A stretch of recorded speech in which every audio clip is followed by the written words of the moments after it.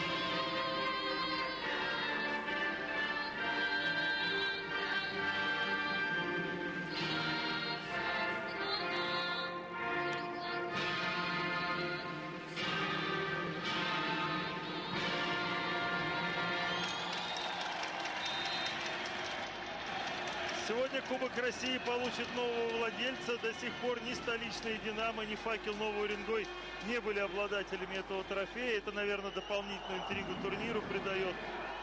Ну и вот если говорить об опыте больших побед, то все-таки «Факел», да, команда молодая, как команда, ничего не выигрывала еще по большому счету.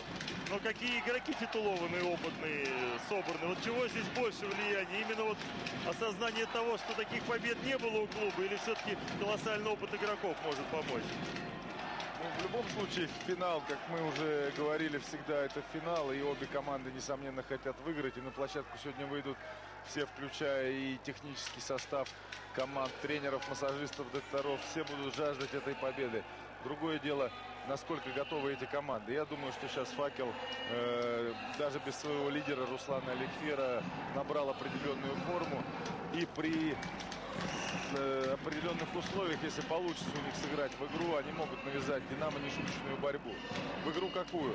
Э, справиться с убойной подачей «Динамовцев» и ошибаться как можно меньше в этой ситуации, если «Динамо» не выдаст одну из своих игр, когда все три нападающих второго темпа этой команды забивают практически любые мячи. Ну, мы знаем, что Полтавский, Казийский и Корнеев готовы нападать на любом блоке после любой передачи, после любого приема. Если «Динамо» не поймает одну из таких своих самых удачных игр ситуаций, то «Факел» может надеяться и надеяться 50 на 50.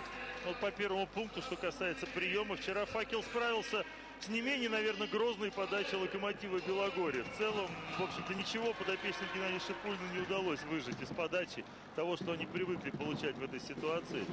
Поэтому интересно будет посмотреть, как вот в борьбе за этот трофей уже непосредственно, напрямую, ну, принимающие сыграют. Вчера Марко Клок хорошую игру очень показал легионер именно в приеме. И сегодня, наверное, от него тоже много будет очень зависеть. Да, у нас есть все цифры под рукой, но из них одна интересная, всего лишь одна самая интересная, то, что Локомотив Белогорье за три сета добился всего двух очков с подачи. Это мы помним, это непривычно для этой команды. И Факел вчера не сделал ничего экстраординарного. Он сыграл свою игру, э, не дав сопернику применить свое главное оружие. Именно поэтому мы можем говорить, что Факел и сегодня может побороться с Динамо. Э, если, если, опять же, добавит добавить еще чуть-чуть в своей игре против, то, что они показали против Локомотива Белогория, потому что Динамо имеет намного, сетку намного сильнее, поэтому блокировать волейболистов Факела придется уже других нападающих, ну и, соответственно, атаковать против другого блока. Да, вот сейчас появляются волейболисты, три обладателя Кубка мира 99 -го года. Я сейчас насчитал у факела. Э, это Яковлев, Ушаков, Савельев, плюс чемпион Европы Матей Чернич, плюс олимпийский чемпион Марко Клок. В принципе, одних да, титулов-то как звучит. И именно те, которых немного подзабыли, скажем так, не хватает еще, отмечу еще раз, Руслана Аликфера, который не полностью восстановился после операции на колени. Но, в принципе, наверное, они хотят. Наверное, им хочется напомнить о себе и будем надеяться, что это случится сегодня. Будем надеяться, что в любом случае мы увидим э, поединок достойный финала такого состязания, как Кубок России. Да, вот в этом плане у динамовцев с титулами поскромнее, все с международными. Игроки в основном все-таки молодые. Вот два болгарских волейболиста, призеры чемпионата мира недавнего, да Алексей Кулешов порядком собрал титулов э, в былые годы. И вот, собственно, все. Остальные не более чем призеры континентального первенства. Вот. За исключением того, что эта команда практически в том же составе действующий чемпион России. Это безусловно. Внутренних титулов у динамовцев немало, пусть выше пока один чемпионат России прошлогодний, но вот как раз они здесь рассчитывают пополнить свою коллекцию.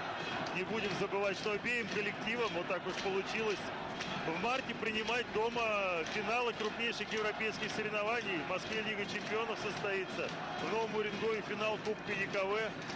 И сами понимаете, вот участие в таком турнире это колоссальный опыт, помимо всего. Да, формат финала Кубка это тот же формат э, финала розыгрыша любого европейского кубка. Четыре команды, полуфинал, финал. Поэтому это серьезная проверка и, так сказать, генеральная репетиция перед, перед этими соревнованиями. Блок Нового Уренгоя мы видим не собирается сдаваться, стоять на месте. И заработал чуть-чуть контратака неудачно. Слишком круто уж хотел Алексей Ежов забить, но он увидел руки Алексея Кулешова перед собой. Пытался просто уйти от них. Но вы видите, даже по скрипу зубов, что игрок очень недоволен собой и здорово заведен, по-хорошему, естественно. Постарается исправиться. Мощная атака Ильи Савельева. Вчера он блистательный матч провел.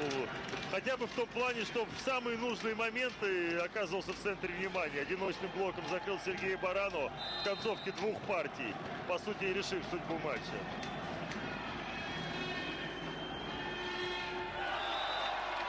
Вот атака первым темпом у динамовцев Алексей Калишов. Здесь у динамовцев в в центре явное преимущество по центральным блокирующим, поэтому с идеального приема э, против «Динамо» играть будет очень трудно, при условии, конечно, Сергей Грамкин, э, разводящий «Динамо», будет использовать своих центральных.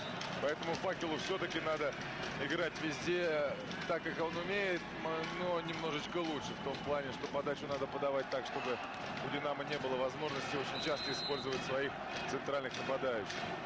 Вот Роман Яковлев как раз игрок способный такую подачу выполнить. И это мы прекрасно видим. Тут о первом темпе уже речь не идет. Корнеев на тройном блоке. Клок блестяще убирает позицию в защите. Казийский задней линии все очень четко. Не просчитали блокирующие нового Рингоя эту комбинацию. Опять же, контратака полегче далась динамовцам. Прием, естественно, был качественный. Я думаю, что волейболисты «Факел», они уже встречались с «Динамо» в этом сезоне в рамках розыгрыша чемпионата России в Москве. «Динамо» тогда победила 3-1. И борьба была, в принципе, только в начале поединка. Я думаю, что «Факел» готов к тому, что преимущество и визуальное, и физически. Вот мы видим, какая высота над сеткой. Преимущество на стороне «Динамо». Тут еще, наверное, нельзя забывать фактор, что до этого матча с учетом первого круга 10 раз встречались команды, и все 10 раз победу одерживали динамовцы. Об этом, наверное, волейболисты тоже никогда не забывают, хотя, конечно, уязвленное самолюбие опытных игроков тоже вещь такая полезная для команды, скажем так. Пока не очень получается, вот дважды на подаче Кулешова, причем динамовцам удается отрываться, блок работает, получается игра у сетки, Илья Савельев сейчас как-то безнадежно атаковал. Не очень удобно, наверное, было, но все-таки... На мощный блок сейчас Таким попал Илья да. Савельев. Не использует пока Константин Ушаков Яковлева. Не видели мы ни разу его еще в атаке. Вот сейчас Илья Савельев справляется не менее сложной ситуации на трех блоках. Да, вчера Яковлев выдал потрясающий матч. Он вообще был самым результативным игроком по итогам обеих сыгранных матчей. Причем Яковлев три партии играл. И вот за ним были Павел Абрамов и Михаил Пикетов, которые по 5 партий сыграли, набрали по 20 очков. Яковлев успел 22 набрать за три сета. Да, ну и с, с хорошей результативностью, то есть с отличной результативностью играл Роман Яковлев. Поэтому будем надеяться, что сегодня его использует Константин Ушаков. При удачной игре он мог бы противопоставить динамовцам игру на сетке, скажем так. Ну, сейчас он добрался до передней линии, хотя до диагонального, да нет, пока еще не добрался, прошу прощения, хотя до диагонального он не принципиально на передней или задней линии находиться, если игрок в тонусе в хорошем с удобной передаче будет нести большую угрозу. Вот сейчас Корнеев, опытный Ушаков, одним блоком смягчил. И вот Яковлев первый удар неудачно. Попытка пробить по ходу, там Александр Волков не пустил. Но пока то, что мы наблюдаем, в общем-то, не выбивается из конвы обычный для встреч Динамо и Факела. У москвичей преимущество, и преимущество пока заметное. Прежде всего, опять же, игра на блоке. Мы помним, что вчера в первой партии с Искрой динамовцы просто великолепно сыграли на блоке. 9 очков заработали. Потом, конечно, этот уровень им было трудно поддерживать. Но вот нечто подобное мы наблюдаем и сейчас.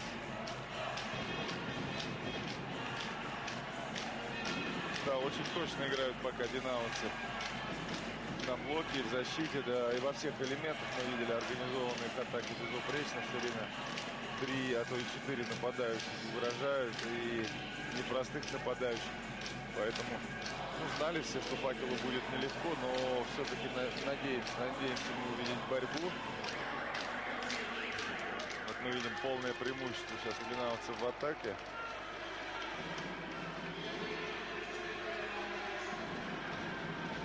Практически по всей, во всех элементах сейчас Динамо лидирует. То есть на данный момент Факел ничего не смог пока противопоставить Динамо Москва. И это отражается в счете 8-4. Александр Корнеев на подаче. Ну, сейчас каждое сыгранное очко может большие погрешности пока вносить в эти цифры. Поэтому от нескольких ближайших мячей будет много зависеть. Вот тот же Яковлев вышел уже на 50% результативности в атаке. Один раз удачно забил. Да, но заметим, что это первая его атака на своем приеме, то есть из удобной ситуации довелось атаковать первый мяч диагональному факела э, в контратаке, что не самое легкое дело. Поэтому действительно для того, чтобы анализировать цифры, надо подождать, когда пройдет хотя бы половина или лучше всего один сет.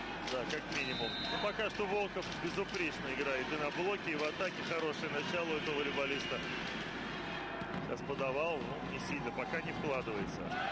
Один в один закрывает Савельева. Пак, но это вообще, наверное, неприятно психологически, поскольку, опять же, перехитрил сейчас Кулешов, пересчитал соперника.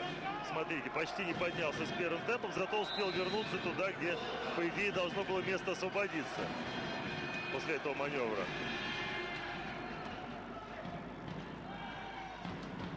И вновь атака из второй зоны Показалось мне, что было касание, честно говоря, но это также и показалось и Матею Черничу. Давайте посмотрим. Ну, трудно сказать. Очень динамичный момент. Могло чуть-чуть коснуться, но не настолько, чтобы это было очевидно для судей, скажем так. Раз у нас остаются сомнения, наверное, столь же и для них неоднозначная ситуация была. Ну и на тайм-аут уже Борис Колчин дерет. 11-5. Тут уже надо что-то придумывать. Вчера практически без замен обошелся факел. В общем-то, судя по всему, только для точечных вариантов вот эти игроки скамейки пока Борисом Колчиным предназначены. Не выходил вообще, по-моему, Сергей Латышев, если я не ошибаюсь, доигровщик. Но это опять же объяснимо, потому что прием держал факел очень прилично вчера.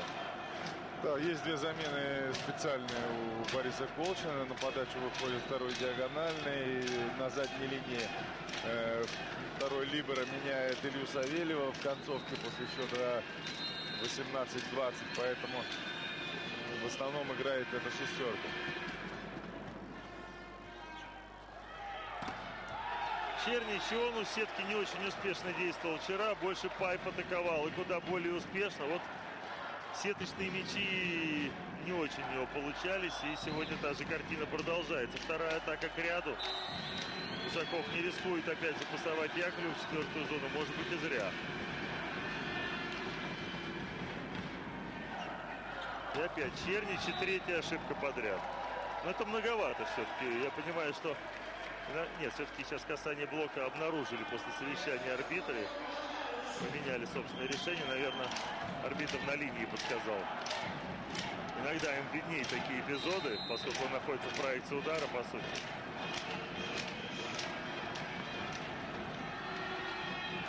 Опять же, мы видим, все-таки уверенности пока нет у Чернича в игре. Немножко не в своей тарелке он находится. Но опять же, это все совпадает с тем, что было вчера. Тоже первая партия не, не получилась, потом значительно увереннее смотрелся итальянец.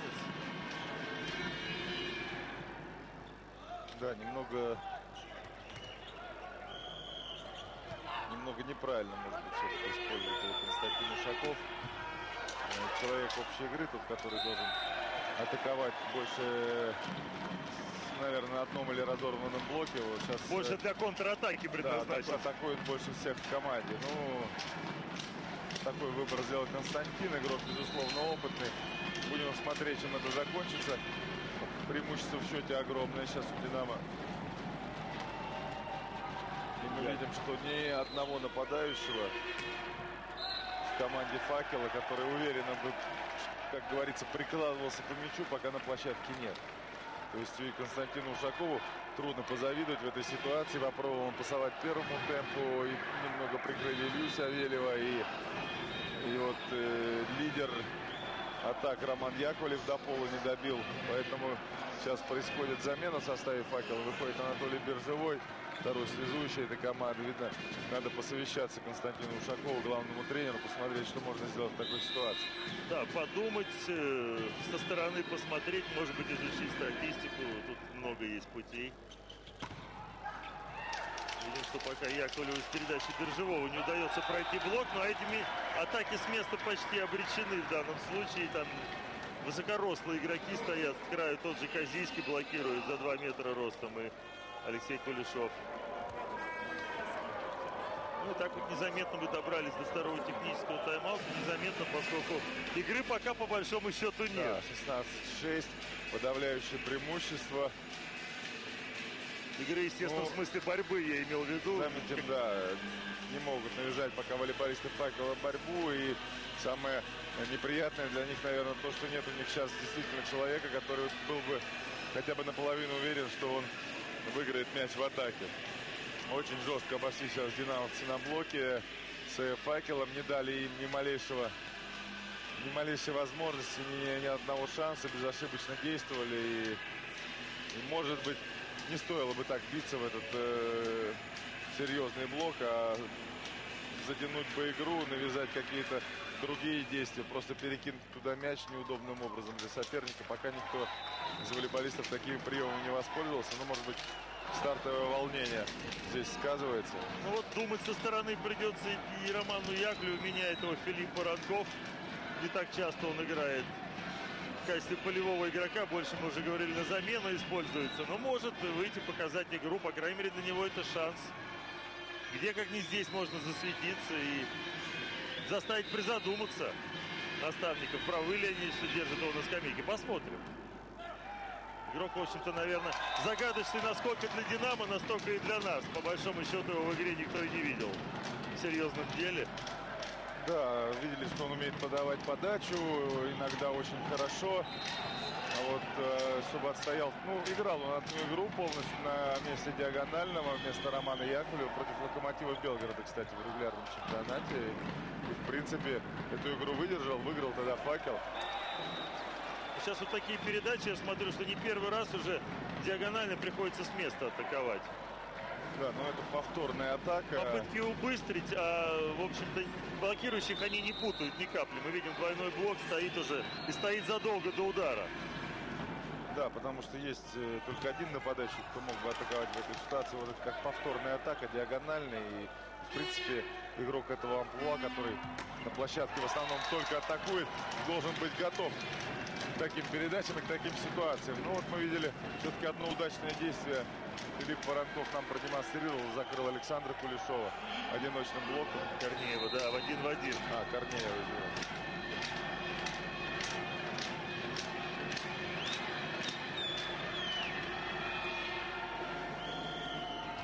А вот и Кулешов, чтобы мы не путали, тут же отличается. Но, ну, в общем-то, эти волейболисты иногда действительно можно оговориться. Много-много лет они вместе уже выступают, еще начиная с Белгорода, потом Динамо. Корнеев одно время играл в Луче. В сборной России вот вместе в этом сезоне. Ну и оба из волейбольных семей у обоих отцы играли за подмосковные «Динамо». Очень много объединяет этих ребят. Да.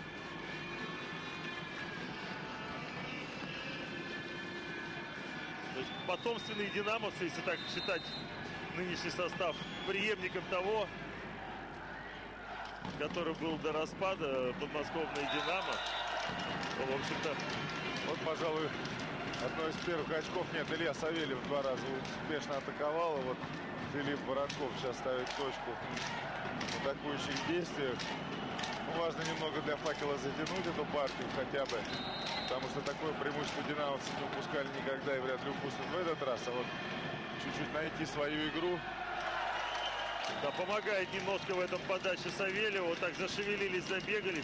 Опытный Марк Клок, конечно, пытается расшевелить партнера в первую очередь. Но для Либера это тоже одна из частей его профессии. Вот заводить игроков, самый подвижный игрок. И получается вторая такая подача у Савельева, но в целом может быть, действительно эти паузы на пользу команде. Мы даже не обратили внимания, еще одна замена произошла Николай Павлов вместо Ежова вышел на площадку. Вместо Юркина, Вместо по-моему. Юркина. Ну, сейчас нет, да, и Либера на площадке, поэтому трудно сказать. Не заметила, честно говоря, этот момент.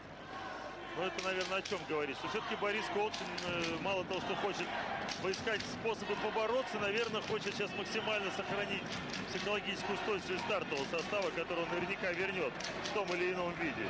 По крайней мере, Пытаемся угадать, что сказал Борис Колчин сейчас. Судя по жестам, все-таки, наверное, попросил своих игроков не ломиться так в стену, а попытаться сделать что-то еще, что может привести к другому результату, не к такому убийственному блоку, где-то отыграться от рук, обманный удар, перекинуть мяч на ту сторону, в неудобную для соперника зону, чтобы э, игра приобрела рисунок, вообще, чтобы этот матч стал похож на волейбол. Есть, Потому что сейчас мы пока видели э, да, улица с что-то похожее на тренажер волейбольный.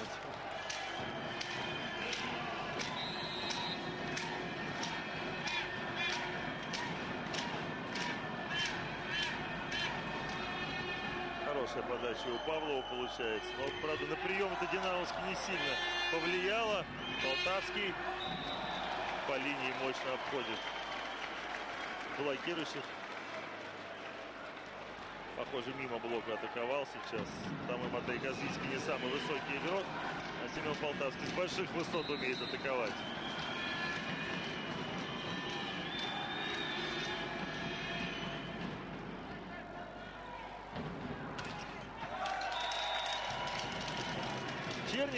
Добывает первое очко в атаке. На сей раз он оказался против одного блокирующего. Вот Анатолию Биржевому временами удается растянуть динамовский блок. Может быть, прием у него получше, конечно, от его партнеров идет. Но так или иначе, какими-то моментами более-менее осмысленную игру мы видим. Но вот Сергей Гранкин быстренько пресекает в корне любые мысли о том, что можно побороться. Хороший обманный удар. Своевременно взял на себя инициативу. Действительно, Павлов вышел вместо Юркина, потому что Ежов на площадке. Ну, действительно, сейчас прием удалось наладить. И на одном блоке Воронков. Чернич был, прошу прощения, вновь. Но с одним блоком итальянец справляется.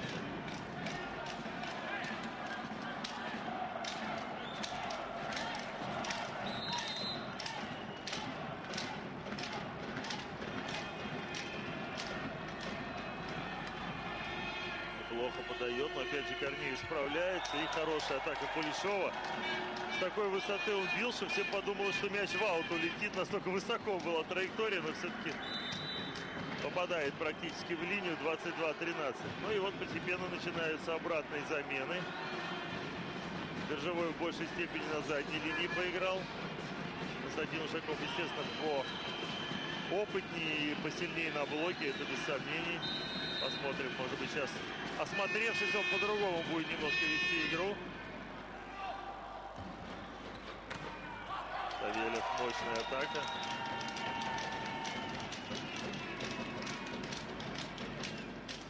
Все равно даже на одном, на двух блоках чисто обойти не удается волейболистам Уренгоя. Блок цепляет атаки, пускай даже сейчас мячи не поднимаются, но это тоже симптоматично достаточно. Полтавский слишком уж Значит, неудобная была передача, но вот небольшая, немного кислорода для соперника дает Динамо.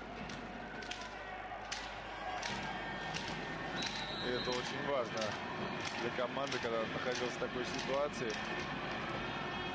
Минус 10 очков. Кулешов там пробежался по грани, скажем так, по центральной линии и отвлек волейболистов факела. Те пытались судьи обратить внимание, но Вот еще один блок. не выключились. Это главное из игры. Да, и мы видим, что вот блок заработал потихоньку у факела. Воронков особенно действует удачно. Второе очко его. В данном случае с Павлова мяч Но попал. очень плотно поставили блок Да. волейболиста, то есть хороший заслон выстроили.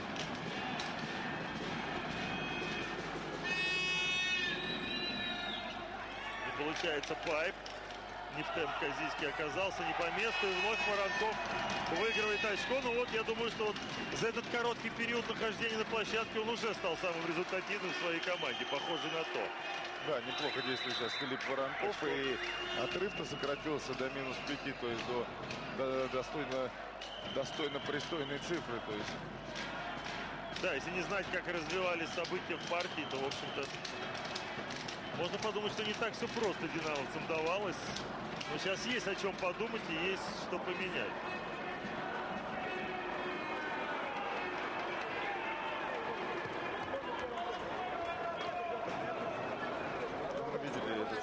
Динамо. Не, держит концентрацию этой команды. Э, Эта команда, когда ведет слишком много очков в партии.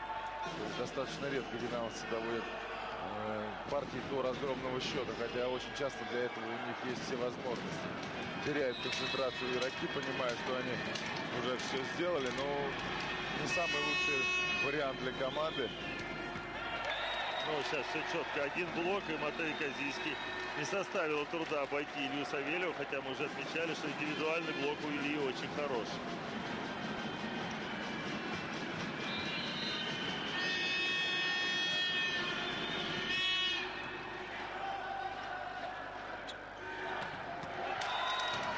Опять там столпотворение в четвертой зоне и коснулись похожей сетки, но это, наверное, было за игровой, да, частью ее, поэтому арбитры, в общем-то, снисходительно на это посмотрели. Да, за игровой частью касания сетки ошибка не считается. Ну, Там три человека под нападающим оказалось, но удачно все-таки была атака. И Воронков на подаче. Справляется Салпаров. Касание антенны было от блока Константина Ушакова. Александр Корнеев атаковал. Ну вот первый сетбол образовался. 24-18. Замена. Пытается еще усилить ситуацию Владимир Олекна здесь. На, на подачу выходит Алексей Остапенко. Ну и заодно, наверное, чтобы Алексея держать в тонусе, потому что наверняка дальше может быть все сложнее и понадобится его подача.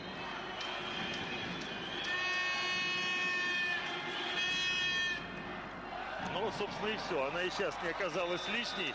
Мощно подавал Остапенко и 25 очко. 25-18 в пользу Динамо 1-0. 7-3. Не такое уж ошибки, принципиальное ошибки противника. То есть 4 в перевес в пользу Динамо. И 4 ошибки сделал факел больше, чем Динамо. А Эти ошибки мы видели, это были достаточно серьезные вещи. Кроме одно- от- двух ошибок на подаче, два удара в аут. Ну, вот вчера мы как бы предположили, что на таком уровне блок трудно держать не то, чтобы несколько партий подряд весь матч. И действительно, динамовцы все-таки не так результативно действовали на блоке в других сетах после первого. Посмотрим, как будет сейчас. Это понятно, соперник начинает что-то менять. Э, Очень классный соперник может поменять э, игру по входу одного сета. Хороший соперник поменяет ее обязательно с началом э, следующего, поэтому такие цифры сохранить трудно. Но, с другой стороны, они уже свое дело сделали, потому что за счет этих цифр э, «Динамо» выиграла один сет сегодня и первый сет начальный во вчерашнем поединке. А у нас, похоже, самым результативным блокирующим потихоньку Филипп Воронков становится. третье очко уже выигрывает на блоке, несмотря на то, что полпартии от силы находится на площадке. И тут же ошибка Кулешова. Вот это, наверное, желание побыстрее отыграться. Алексей сейчас на силу исполнял удар. Хотя у него такая высота, что, в принципе, этого делать не обязательно абсолютно. Вот да, такой не... азарт захлестнул. Не попал по мячу, не попал в траекторию. Поэтому... И вновь Воронков на блоке. Сейчас чуть-чуть в аут. Так упорно пытается именно его, через него почему-то пройти Динамо. Ну, наверное, это не, не случайно. Не очень высокого роста этот волейболист, но обладает очень приличным прыжком, очень вовремя выпрыгивает над сеткой. Поэтому высокорослому нападающему может казаться, что эта зона вообще не закрывается никаким блоком. Если этот волейболист поднимается Можно. быстро и точно по времени, выставляет там руки. Можно очень... вспомнить французского связующего Жоля хотя да. бы, да. Хотя разные амплуа, но блокирует там же, в основном во второй зоне. Да. Мощная подача Воронкова. Вот так постепенно он все больше и больше становится главным действующим лицом, по крайней мере, на площадке своей команды половине.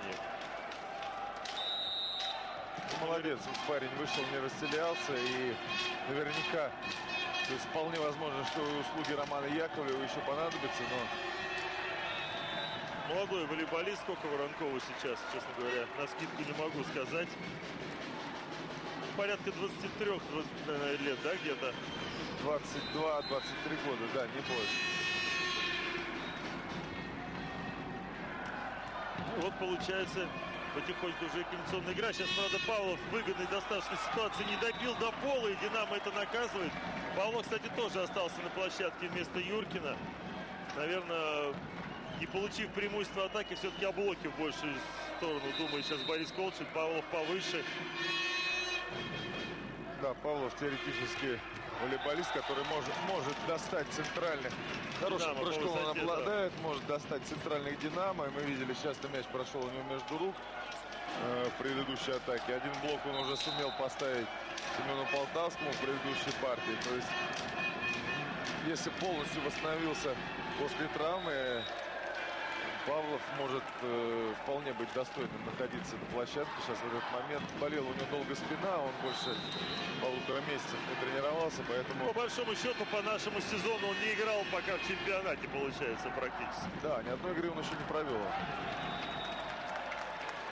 Ну вот Филиппа Воронкова наконец-то просчитали, закрыли его атаку такую удобную, скажем так, в удобной позиции. До этого закрывали, когда он атаковал такие аварийный мяч. Все немножко по-другому. Счет быстро сократился. Было три очка преимущества. Осталось, ну, сейчас два после этой ошибки Семена Полтавского. Но Динамо в приеме.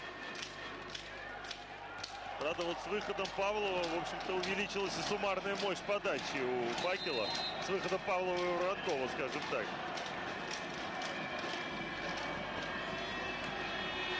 Мощно подают эти волейболисты. Сейчас неудачно, правда, Павлов выполнил.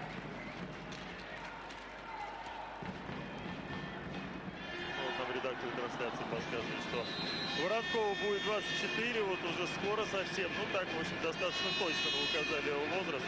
Просто опять же повторюсь, этот игрок настолько редко попадал на площадку и был в центре внимания, что, естественно, биографию его толком никто и не изучал. Вот хорошая сейчас атака, такая мудрая, назовем ее так, и 8-6 все-таки какое-то преимущество до первого технического перерыва факелу сохранить удалось, хотя мы видим, что Динамо потихоньку вроде бы разбирается в тех переменах, которые произошли в игре у Уренгойского клуба. Наверное, определенные выводы делаются. Да, ни при какой ситуации, мы уже об этом говорили не раз, э, волейболистам факела легкой жизни ожидать не приходится в этом поединке. В принципе, э, когда они выходили, они понимали, что должны совершить чудо, то есть сыграть на пределе возможностей, а может быть даже чуть-чуть чуть-чуть лучше за счет адреналина, но пока что мы этого не видели. Посмотрим, потому что поединок-то еще совсем не закончился. Подравнялся немного факел в атаке, вот как мы видим, сравнялись практически. Да, когда догонит на блоке, будет полегче еще. Тут еще надо говорить не только о том, что надо прыгнуть выше головы, тут и динамовцы должны невольно поспособствовать, если Гедрос действительно проявит вот некоторое благодушие, которое местами Благодушие проявлять не будут, надо их заставить. Заставить их можно только своей э, суперконцентрацией, безошибочной игрой. Поэтому очень сложно это сделать против такого коллектива, как «Динамо». То есть не, не, не просто, очень непросто. Да, сейчас Казийский от души проиллюстрировал наши слова. Пушечная атака на двойном блоке, словно он его и не заметил. Волков.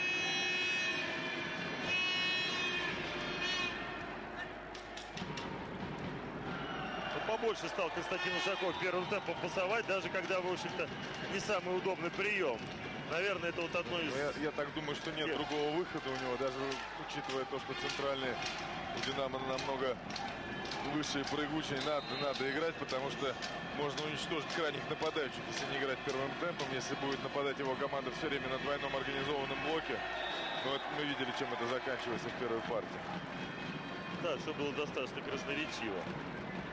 Пока вот этот разрыв держится, стабилизировался он на уровне двух-одного очков, в зависимости от того, кто подает. Наверное, в чем-то это на руку факелу. Сейчас не допустить рывка динамовцев. Хотя мы видим, что сейчас есть шанс у москвичей выиграть очко. Ежов невольно поспособствовал, не дотерпев. Но вот и Семен Полтавский перемудрил в данной ситуации. По-моему, слишком поздно принял решение обманывать. Мяч Ну, низко был. Достаточно часто у Семена вот этот обман, который он выполняет очень рискованно, под самую сетку пытается выполнить. И мы видим, быстро оттягивается волейболист. Может быть, не понял расстояние до сетки сейчас Семен Полтавский, скорее всего. Савельев остановил Казийского один раз. Зацепились второй, но неудачный отскок. Не повезло немножко. А так, в общем-то, наверное, со знаком плюс можно даже этот розыгрыш считать для новоуренгойской команды. Дважды притормозили Казийского.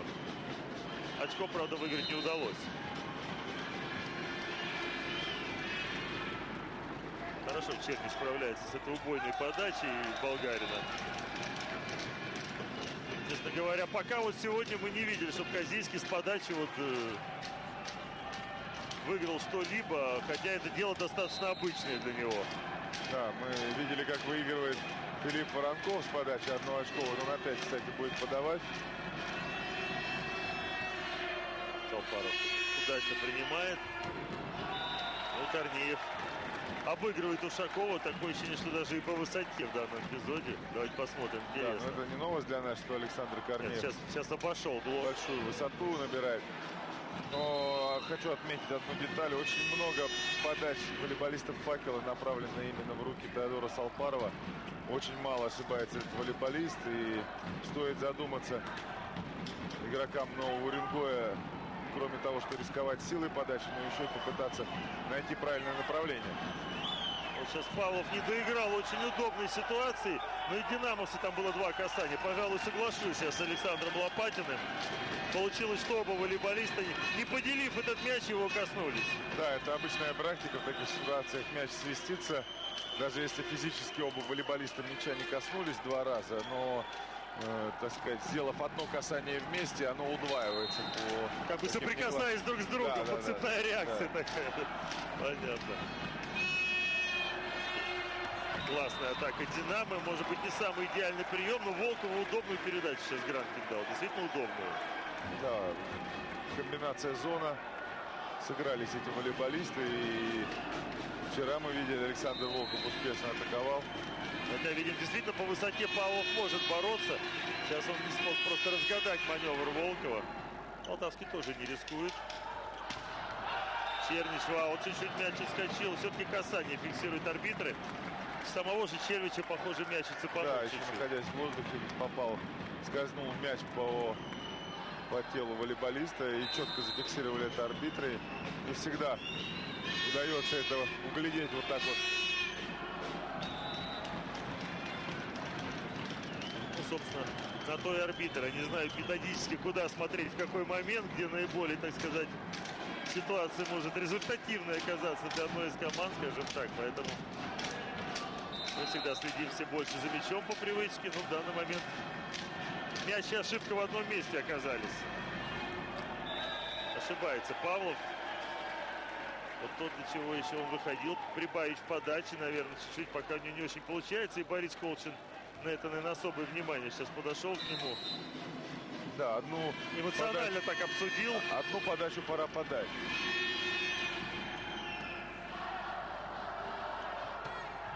Воронков. Мощная атака, но не попадает ни в площадку, ни в край блока. Я не знаю уже на что он больше рассчитывал в данной ситуации. Не попал сейчас по мячу. Все-таки эмоции, наверное, захлестывают молодого волейболиста.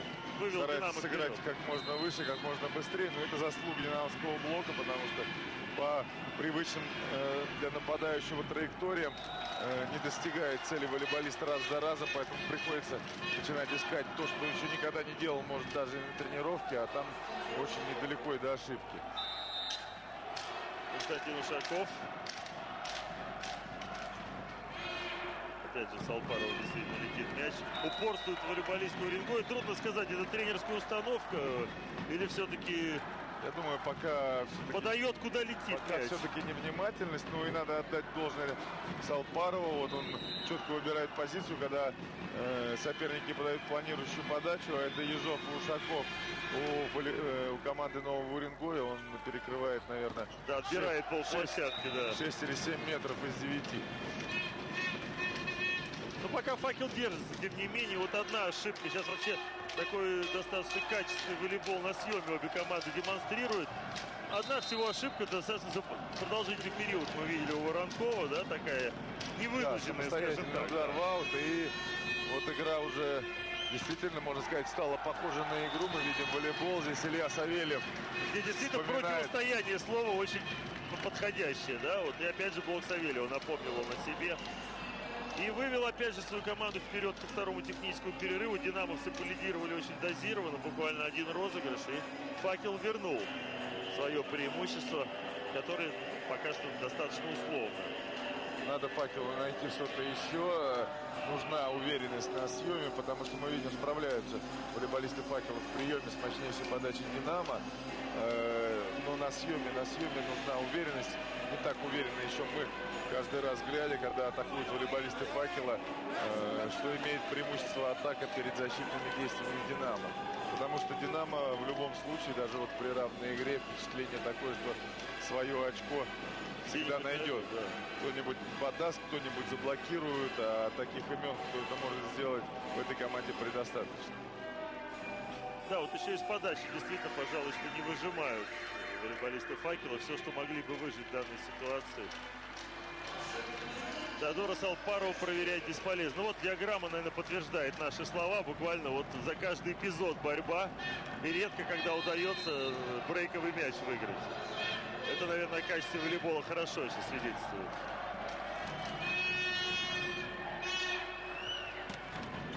Вот удачное место в защите занял Ушаков. Чернич подключается. Грамотный очень удар. Ну каков сильно Полтавский. Среагировал на отскок от блока. Все равно шанс еще раз Черничу. Ну вот это его игра, его атаки. Да, видим, вот. что даже на блоке организованном он за счет пространства свободного находит правильное решение. Да, вот этот удар повезло здесь э, динамовцам, что Семен Полтавский был в этом месте, отреагировал на такой, на такой мяч, который поменял несколько раз направление. Вот это вот э, тот момент, о чем мы говорили, что-то что-то экстраординарное, что находит факел сейчас, чтобы взять одно очко, и то с каким трудом. И началось все с подвига Константина Ушакова в защите, а по-другому не назовешь. После атаки Семена Полтавского на одном блоке он оставил мяч в игре. Все началось оттуда. Поэтому, если вот так будет играть факел, то сможет навязать Динамо борьбы. А сейчас к тому же лидирует и вынужден был Владимир Олегна взять тайм-аут. Посмотрим. Нам, конечно, понравится, если в финале Кубка России будет борьба и не будет ясно до самого последнего момента, кто станет обладателем этого почетного приза. Матвей Чернич. Сейчас он один из самых заметных на площадке. Бьется, старается, прием качественно обеспечивает. Конечно, ему трудно с нашими блокирующими биться у сетки, но вот видим отведенные мячи как раз него очень неплохо. Получается вновь блистательная игра в защите. На сей раз Илья Савельев и находит свой шанс в атаке он же. Вот, такие, мячи, трудовые. да. да, трудовые. И без таких мячей у Динамо, э, я так понимаю, факелу не выиграть, как будто услышали сейчас нас волейболисты, продемонстрировали При этом, да, подряд. заметно, что у динамовцев проблем в атаке-то не появилось. Они блок обходят, обыгрывают, просто Нет, они будут, чудеса так, в защите они пошли. будут так атаковать, да, и именно от себя надо играть факел. Вот, похоже, успокоились сейчас волейболисты после нокдауна при первой партии, поэтому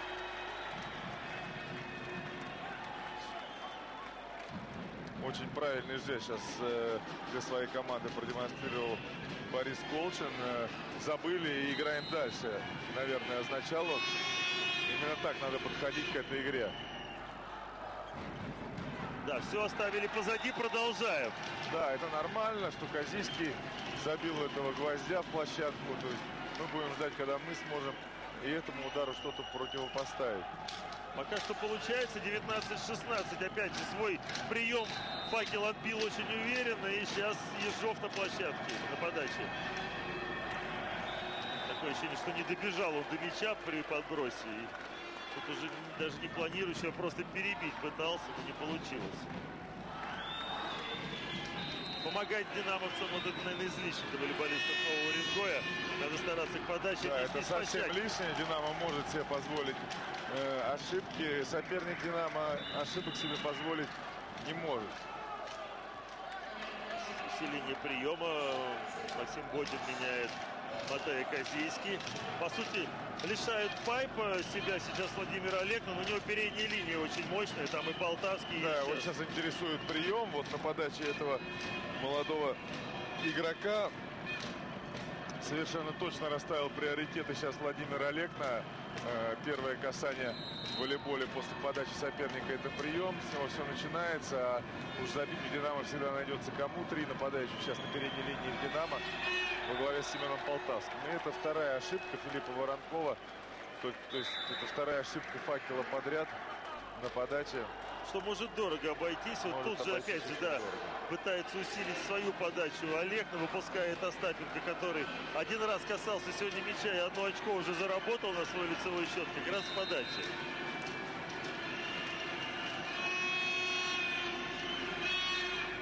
И у него не получается. Вот мы сколько? Четыре. Четыре ошибки подряд видим. Вот это нервы. Видимо, динамосы тоже, наверное, те два мяча в защите, которые сыграл факел, немножко расшатали бело-голубых, уверен. Да, нелегко, любой команде нелегко э, в таких эпизодах э, сохранить концентрацию, спокойствие, равновесие, когда вот атакуешь вроде бы со всей силы и уже готов скинуть руки вверх. А мяч, а мяч продолжает не падать. Вот видим, борется, борется до конца волейболисты факела, не дают, дают динамовцам спокойно Да, только на чистой сетке удалось забить в итоге динамовцам. Они атаковали на двойном блоке и на одиночном. И вот только переходящий мяч уже не удалось поднять волейболистам факел. Защиту действительно классную показывают. Еще больше пытается ее усилить сейчас. Почувствовав это Борис Колчин, выпускает Дмитрия Михайлова на заднюю линию. Дает заодно отдохнуть Савельеву. У Динамо штатная двойная замена. Сейчас будет происходить в два темпа. Павел Круглов появился, заменил Сергея Гранкина. Это второй диагональный. Он вышел к сетке. Таким образом усилил блок. Соответственно, на подаче Семен Полтавский. Это важный момент в этой партии. Не рискует Полтавский, а вот вышедший Михайлов занервничал. Михайлов занервничал. Конечно, есть навыки приема у этого волейболиста. И вот не повезло ему это касание сетки. Наверное, сконцентрировался и готов был принимать любой силы пушку от Полтавского, а прилетел укороченный мяч.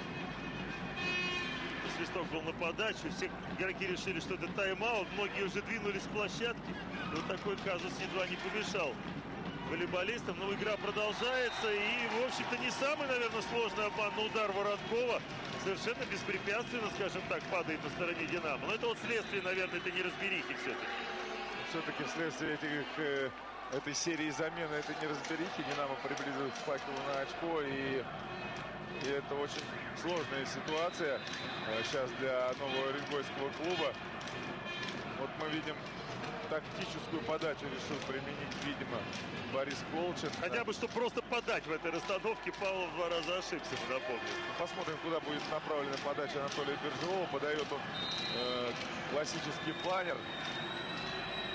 Там Сейчас. стоят на приеме Ботин и Салпаров. То есть сложно было этой подаче что-то усложнить. Э, не имея как, как прицел, скажем так, Корнеева или Казийского.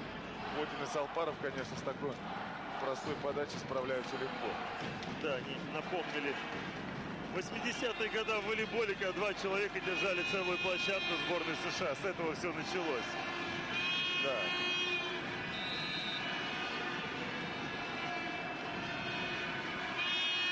Корнеев на подаче. Вот получается у Динамоса вторая подача к ряду. И вот ошибки в приеме команды из Нового Уренгоя, наверное, сейчас решающими. Опять Михайлов ошибся.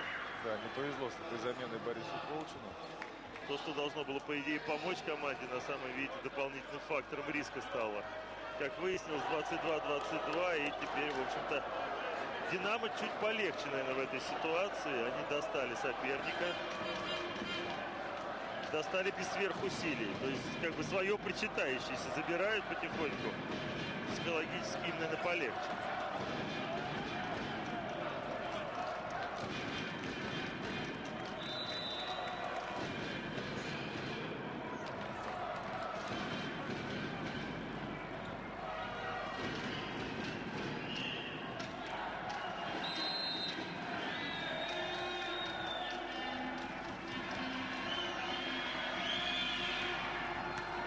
Вот сейчас в Чернича летела подача. Без проблем Матейс не справляется. И здорово Салпаров действует в защите. У Воронкова получилась на сей раз атака. И Чернич в линию точно укладывает мяч. Вызывает массу споров, но Владимир Олег успокаивает своих подопечных, подтвердив, что да, мяч был в площадке. Продолжаем Луговой играть. достаточно четко Да, в отреагировал. линию мы видим. Было даже касание линии на этот раз.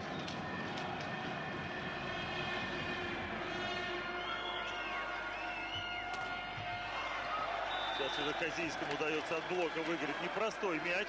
Такое ощущение, что все-таки далековато его загнали туда, в край сетки. Да, не очень удобная была передача. И на опережение сыграл Матей. И ни, ни ни- секунды, ни доли секунды не раздумывая. И как раз этой доли не, не хватило блокирующим, чтобы перенести руки. 23-23. Вернулся Алексей Полишов на переднюю линию, а подает его коллега по ПУ Александр Волков.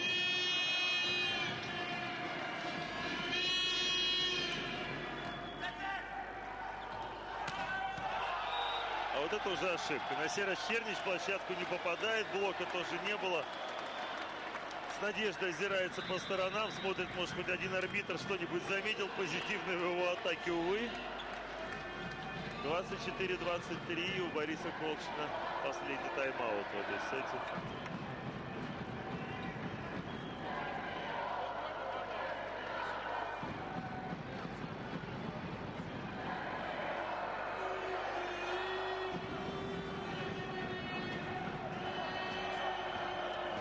Все-таки факел пока больше ошибается. Да, больше, чем нужно, если хочет выиграть. Мы видели, что и, и то в этой статистике нет тут тех ошибок на приеме, которые мы видели, которые позволили атаковать переходящие мячи динамовцев. То есть По сути, тоже результативная ошибка. Волков подает сетбол Динамо во второй партии.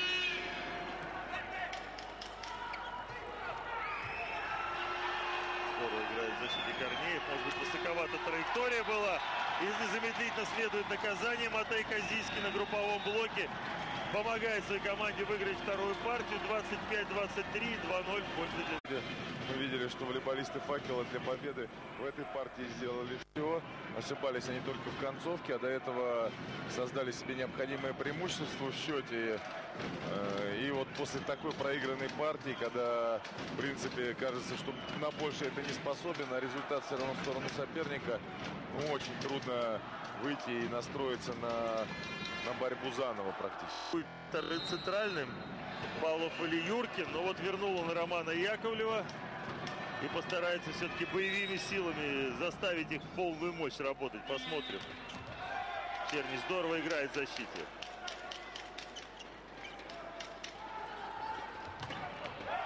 Корнеев в задней линии тут не оставляет никаких шансов. Мяч попадает в площадку. Трудно сказать, чем Показывает, недоволен Константин Борис Ушаков показывает, что был заступ, и вроде даже второй судья просигнализировал об этом. Вот как раз мнение второго судьи услышал первый судья. Согласился, Заступил да. Александр Корнеев за трехметровую линию, игрок задней линии.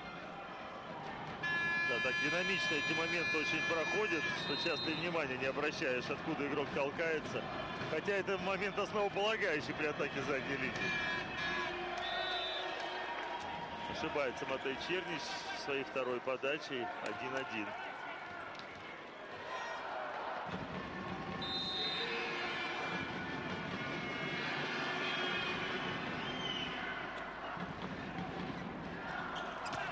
Ну Вот Пайп не хуже играет. Факел э, вообще где-то с середины второго сета начал Ушаков вновь подключать Чернича с задней линии. И вчера тоже не сразу он это сделал. При том, что это очень здорово работает. Ну, вот Павлов остался на площадке. Здесь можем уточнить. Именно он вторым центральным играет у Факела. Подает его коллега Ежов. Ну, а другой центральный динамовский уже на сей раз Алексей Кулешов без проблем завершает комбинацию с хорошего приема, по сути, на чистой сетке. Да, мы видим большое преимущество у «Динамо» в центре, по- поэтому такие подачи тактические, да еще тактически, скажем честно, неверные, потому что опять принимал Теодор Салпаров простую подачу, естественно, прием идеальный и возможность в идеальной ситуации атаковать Алексею Кулешову, ну, трудно что-то противопоставить этому волейболисту. Вот очень важный момент, наверное, что Яковлев сразу забил в начале партии. Может быть, Ушаков сможет на него опереться, и мы увидим все-таки борьбу. Посмотрим.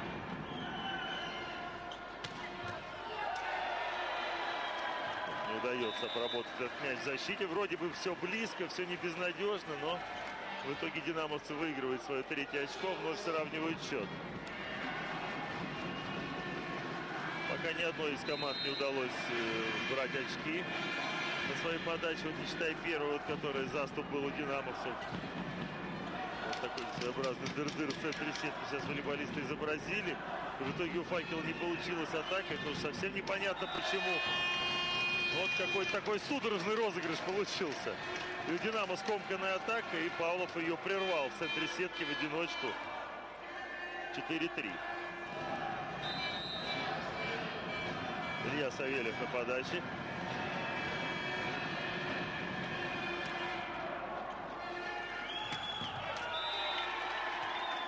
Хорошая атака. Александра Волкова. Опять же, в центре сетки у динамовцев сейчас большое преимущество. Трудно один в один с ними бороться. По-другому не получается.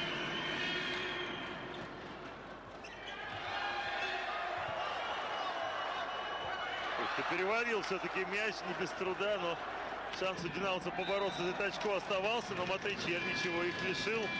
Очень аккуратный удар в край блока, 5-4. Факел держится пока. Вроде бы Ушаков сделал все, да, но Корнеев умудрился сам себя постраховать. Ну и Салпару надо дать должное. Добежал за мячом, который находился очень, очень неудобной ситуации, вернул его на площадку.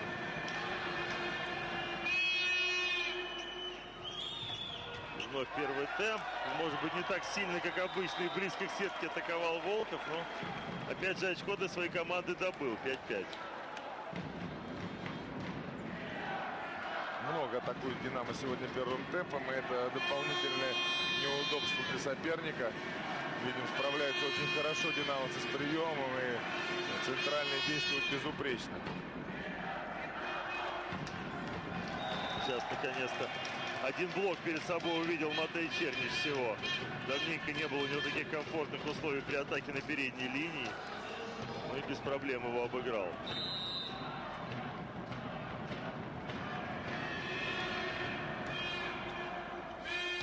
И вновь первый темп. Ну никак не удается затруднить прием динамовцам волейболистам из Нового Уренгоя. Как часы работает этот динамовский механизм. Практически при идеальной доводке Гранкин постоянно первому темпу пасует. Да, последние, наверное, 4 или 5 передач подряд в сторону первого темпа. Вот Яковлев отбомбился от души. По сути, с задней линии опять же атаковал, находясь в четвертой зоне, хотя он находится у сетки. Это уж по ситуации так получилось. И разобрался с блоком. Вот, может быть, поймает то настроение, которое у него было накануне в полуфинале, когда он был действительно неудержим.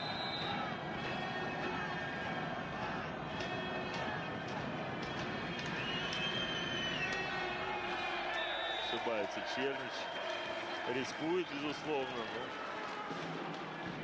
Уж лучше, наверное, так, чем получать по голове от первого темпа постоянно. Да, надо попытаться сделать что-то. Сейчас еще все-таки вышел Алексей Кулешов, который атакует не менее успешно. Сложный мяч его перебросить. Это сделать удается, но шанс у динамовцев. А вот по блоку ли попал мяч? По блоку, наверное, все-таки. Он мог от троса так подскочить, но арбитр там все было далеко от него, все видел. Это очко в пользу Динамо. 8-7, первый технический тайм-аут. Бело-голубые вышли вперед. По-моему, первый раз даже в этой партии. Поочередно команды набирали очки. Вот такой реальный первый брейк, вот при этом счете произошел. Как раз диаграмму мы видим. Первое очко на своей подаче, действительно. Первое брейковое очко набрали сейчас динамовцы. И это преимущество лишний раз говорит о качестве игры, которую мы сейчас видим, да, команда практически да, без ошибок. игры выражено, только преимущество у динамовцев два сета, конечно, это преимущество подавляющее.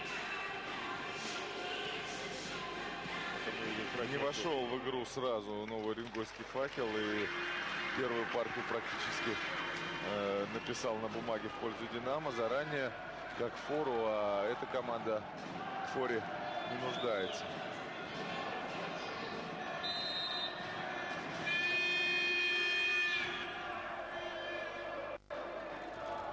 Яковлев ну, действительно разыгрался. Это, в общем-то, какой-то, наверное, ну, шанс все-таки для факела. Правда, для это... Романа Яковлева очень важно начинать успешно свою первую атаку. Этого не случилось, как мы помним, в первой партии. Долго он стоял вообще э, без, без возможности атаковать. Потом первый же мяч его динамовцы закрыли. И даже в результате пришлось Борису Колчину его поменять. Ну, вот впервые удалось первый темп зацепить уренгойцам. И они ищут вариант выиграть очко. Яковлев Сейчас, может быть, чем-то и повезло Динамосу. Там дважды по блоку мяч попал по двум игрокам и вылетел в вертикальный вес, что позволило им комбинацию организовать. Да, по голове Семену Полтавскому мяч попал. От рук, от рук. От, от рук Кулешова. Да. Но остался в игре. Это мы видим уже концовку, да. Когда сам Полтавский мощно атаковал. Савельев проламывает блок вновь который уже раз сравнивает счет в этом матче. 9-9. Роман Яковлев на подаче. Когда у него идет игра в атаке, может и на подаче изрядно потрепать нервы соперника. Посмотрим.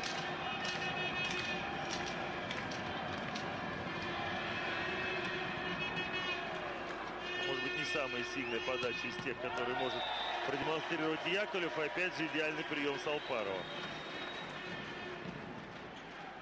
Хорошей форме сейчас динамовские либеры находятся.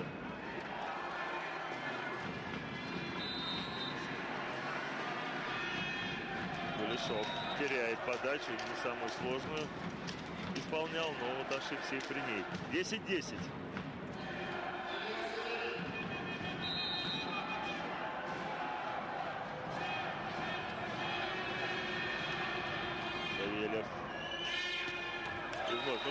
Волков на передней линии, по-моему, все, что в район трех метров летит, все пасуется первому темпу. С приемом мы уже видим в этой партии незамедлительно просто. Да, на опережение атакует все время Александр Волков, все время успешно. В этом плане замена Юркина на Павлову ничего пока не дала, по большому счету. Справиться с динамовскими центральными не удается. Может быть, с крайними есть надежда успеть. Посмотрим. Пока и этого мы не видим. Ну, в общем-то, в этой партии Блок пока не участвовал в игре ни у одной, ни у другой команды, по большому счету. Получилось Да, мы так. видели один смягченный мяч на блоке со стороны Динамо, и контратака принесла это брейковое очко. Собственно, пока... все пока, да. 11-11 уже при этом счет. Ошибается Павлов. Редко он сегодня попадает с подачи в площадку. Борис Колчин постоянно ему что-то после ошибки внушает, но как-то не действует пока на волейболиста.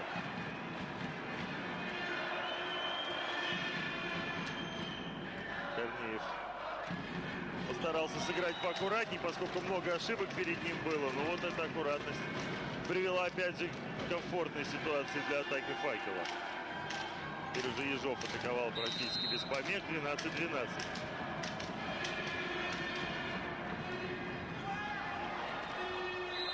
Вот сейчас пытался успеть на блок Грант и не коснулся Столкнулись сетки, под да. сеткой с Александром Волковым. Скорее Волков из глубины Столкнул э, сетку, бежал да. к сетке, втолкнул туда Гранкина. Здорово Казийский выкрутился. Сложной ситуации достаточно. Мяч, по сути, был уже на стороне соперника, близко к тому. На него можно было руки класть уже, по сути. Но вот открутил все-таки Казийский. 13-13.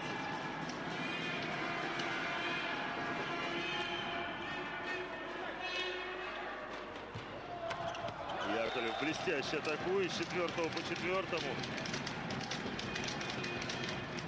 Гранкин такое ощущение, что и не прыгал на этот мяч, понимал бесполезность этого действия, точнее, Пролетел немного Пролетел, Алексей да. Кулешов, потому что передача, несмотря на сбитый прием, была достаточно быстрой. достаточно глубокой, поэтому центральному просто не добраться было. Примерно то же самое сейчас Казийский продемонстрировал, и как обидно должно быть волейболистам факела, сыграв в защите этот сложный мяч, коснулись опять же сетки. Ну вот первые две ошибки мы сейчас видели, да, касание сетки у каждой из команд по разу. Нет, ошибка полная на мяч коснулся. На повторе видно, опять же, быстрая атака. Достойный такой атакующий волейбол мы сейчас видим, но вот Да, противостоять ему не могут команды. Очень интересный волейбол сейчас. э, то есть уровень волейбола здесь виден. Жалко, что началось это только в третьей партии. Но во второй тоже долго держался, э, ближе к концу. Выровнялась игра. Опять касание сетки. Да что ж такое?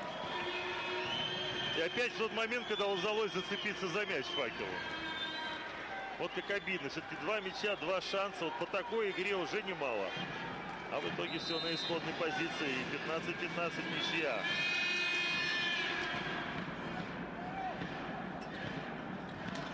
Очень быстрая передача Ушакова и блистательно ее использует Яковлев. По-другому, наверное, было не выиграть сейчас. Да, по рукам сейчас играл, сознательно играл по рукам Роман Яковлев. Вот мы видим. Да, что Кулешов еще Чуть-чуть не долетел, опаздывал. но он прям атаковал Алексей руки, Кулешов. да. Обидно Гранкину, он сделал все, чтобы этот мяч достать, но очень сложно это было сделать.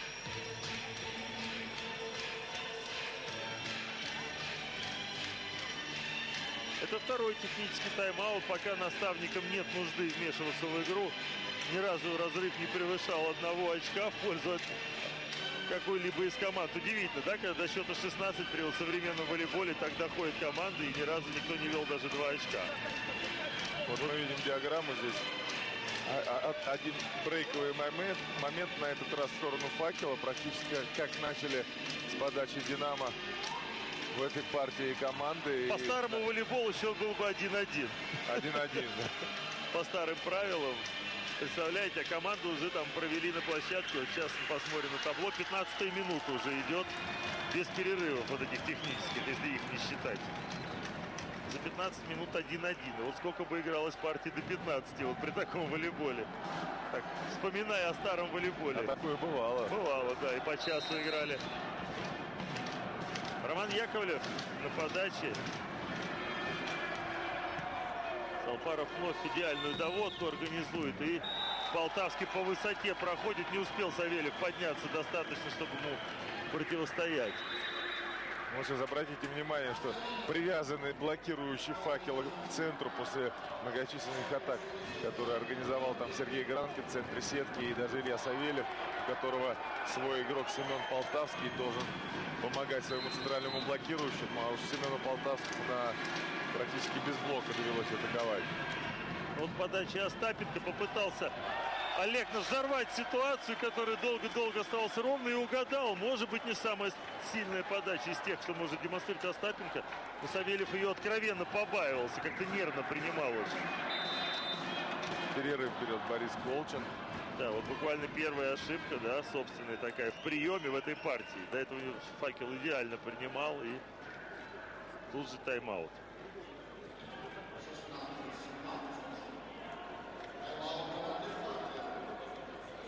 Трудно. Трудно, конечно, бороться вот на этом уровне волейболистам факела. Ну а по-другому никак.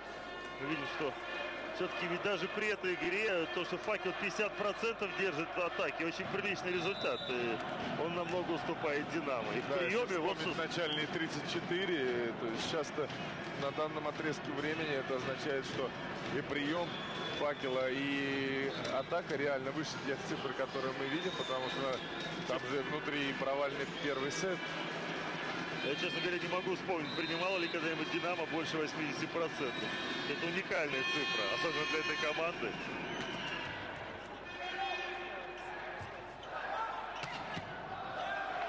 Не удастся оставить этот мяч в игре. Вроде бы здорово Остапенко место занял в защите. Но Савельев сил не жалел при этом ударе. И мяч очень далеко отскочил от рук. 17-17. Очень интересный поединок. Достойно все-таки факел сражается. Надо отдать ему должное. По первой партии так вкрались какие-то сомнения. Согласитесь, что получится сегодня игра. Яковлев опять искал руки, наверное, блокирующего в большей степени. И при этом умудрился попасть еще в площадку. Мяч в самый дальний угол летел. Нашел защитника, да. 18-17. Вот брейковое очко вновь. С таким трудом возвращенное.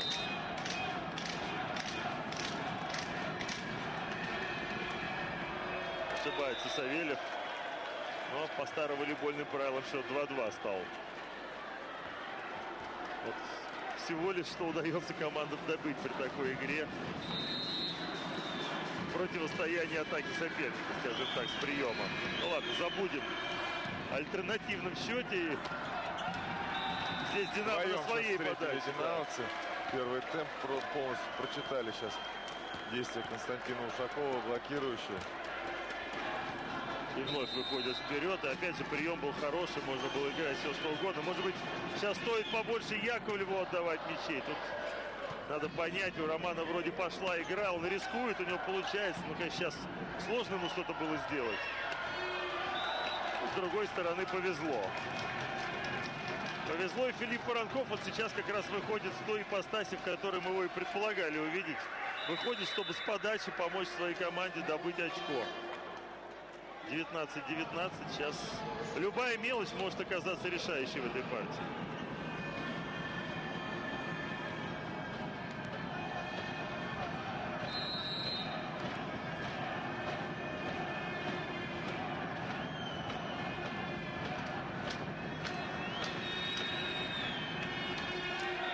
Долго готовился, конечно, рисковал, но в итоге ошибается. 19-20.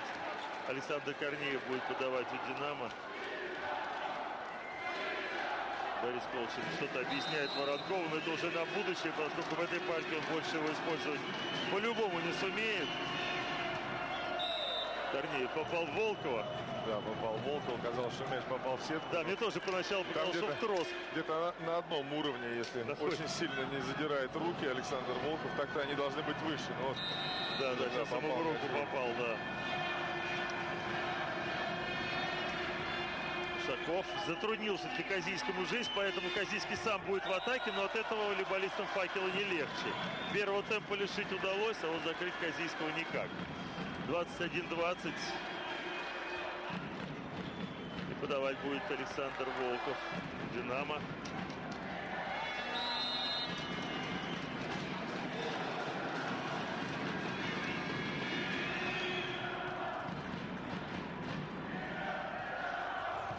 Яковлев не очень удачно ему было. Может быть, сейчас удобней. Страхует он, партнеры помогают как могут. И еще одна атака уж. Рискует Роман всегда. Это, в общем, манера этого игрока. Он, по-моему, да, добежал на одной ноге, приподнялся на цыпочки и потом вложился в удар полностью. А тут уж пан или пропал. Если бы динамовцы это очко выиграли, наверное, трудно было их ловить уже дальше. По такой игре практически нереально. А так, собственно, шансы равны. 21-21 на подаче Матей Чернич.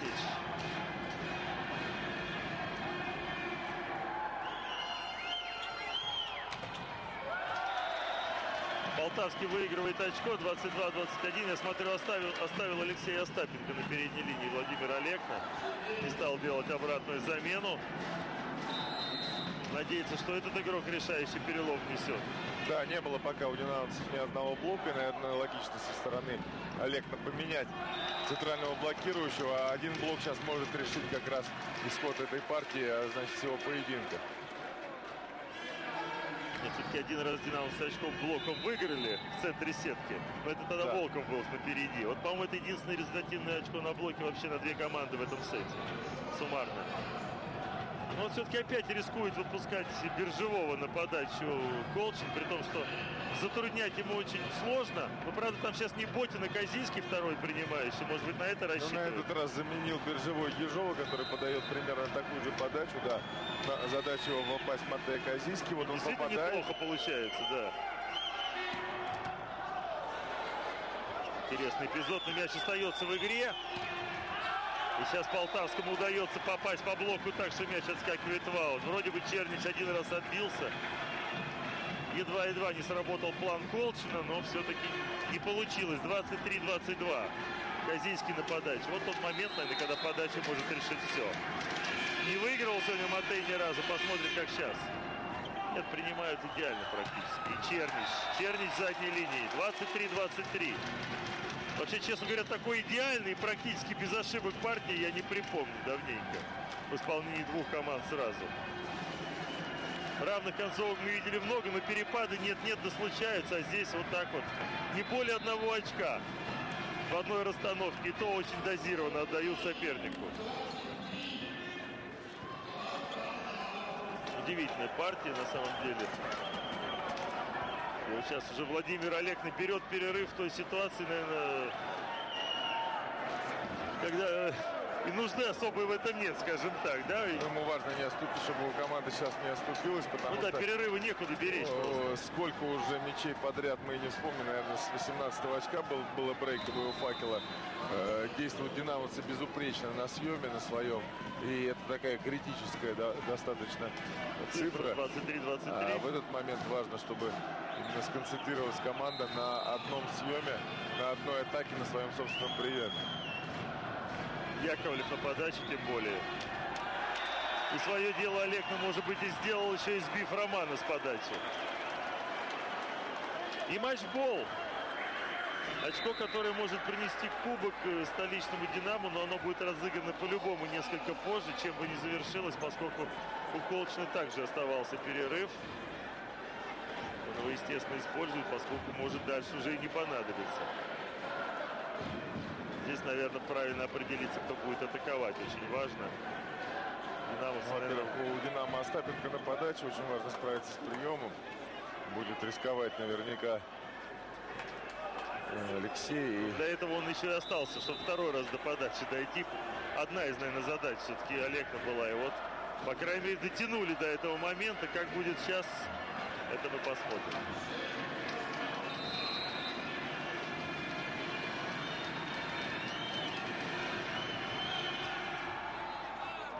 Смягчила сетка этот мяч. Савельев будет его атаковать. И атакует удачно от блока в аут. Ну, естественно, логично было довериться опытному игроку. Правда, тут кто опытнее, Яковлев или Савельев. Вопрос чисто такой теоретический. Савельев постарше. Савельев был на да. передней линии. Но Яковлев на задней это тоже место для атаки его. Поэтому тут ясно, что центром вряд ли бы рискнул Кости отдать в этой ситуации. Сейчас Юркин появляется на блок, подменил Ушакова на один мяч. Но если сложится, то и пару мячей сыграет. Это было, наверное, было бы то, чего Борис Колчин мечтал бы увидеть. Савельев подает. Азийский очень неплохо справляется, играет пайп и, по сути, без блока атаковал. Яковлев здорово выбрал место в защите, но такой силы удара остановить очень сложно. Да, это было бы чудо, если мяч остался в игре. Тем более в одну руку. Не успел даже руки свести Яковлев. Такой пушечный удар был. Еще один матчбол. Теперь на подаче еще одного страшного подающего, скажем так. Семен Болтавский. И все.